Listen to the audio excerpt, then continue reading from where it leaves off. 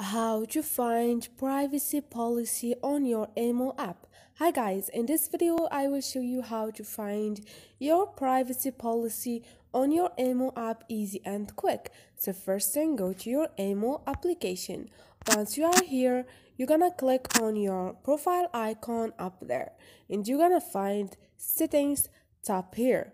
Once you are on this page, click on about which is the last option. And you're gonna find the second option which is privacy policy. Wait for a second and this is your privacy policy. You have the last update like you see and you have those who are who we are how this policy information we collect and how we use it. You can know everything on this app in here. So this is it guys. Easy and quick. Hope this video was helpful. Please don't forget to subscribe and like